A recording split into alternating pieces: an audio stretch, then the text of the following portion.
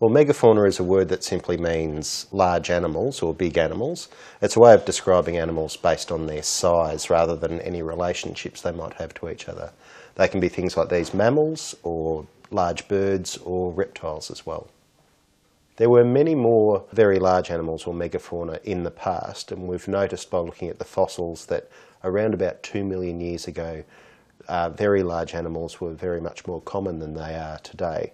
We still have very large animals today, things such as elephants and bison, but uh, around two million years ago, uh, this is quite some time after the death of the dinosaurs, uh, there were very large animals roaming the earth. In Europe, they had things like uh, woolly mammoths and rhinos wandering around.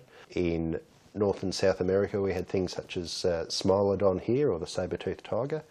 And even here in Australia, we had our own megafauna, or very large animals. Um, things like Diprotodon, which you can see on display in the exhibition. This is the jaw from a large male Diprotodon that was found at Lancefield.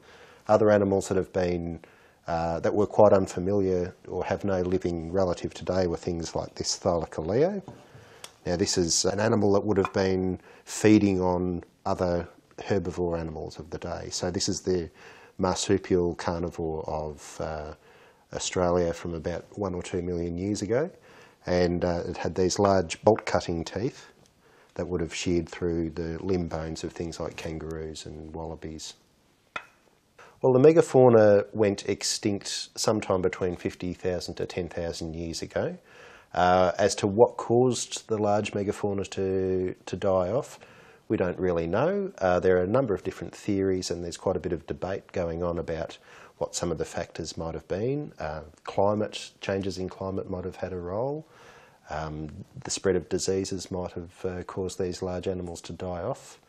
Um, and also humans, uh, the migration of humans across the different land masses roughly ties in with the time that these animals died out. The more fossils that we find and the more sites that we find that yield these sort of fossils, these megafauna fossils, will help us uh, get more clues about uh, what might have made them go extinct and give us some ideas about uh, the trends of extinction of large animals.